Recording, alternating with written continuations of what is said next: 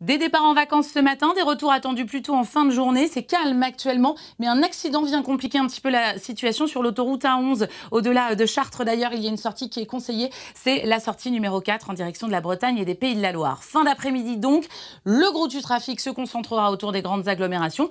Actuellement, d'ailleurs, si l'on regarde un petit peu autour de Bordeaux, regardez pour aller euh, sur le bassin d'Arcachon, eh bien, il y a encore 20 euh, minutes hein, de bouchons. Euh, ailleurs, ça reste calme, je vous le disais encore en ce début d'après-midi. La vallée du Rhône, l'autoroute A7 entre Lyon et Orange, temps de parcours quelque peu rallongé, mais c'est vraiment autour de 18h là aussi eh bien, que le gros du trafic se chargera et plus particulièrement euh, en direction du nord. Un petit coup d'œil sur l'arc méditerranéen. Tout est au vert autour de Toulouse, autour de Montpellier, de Nîmes ou encore d'Aix-en-Provence. Bonne route.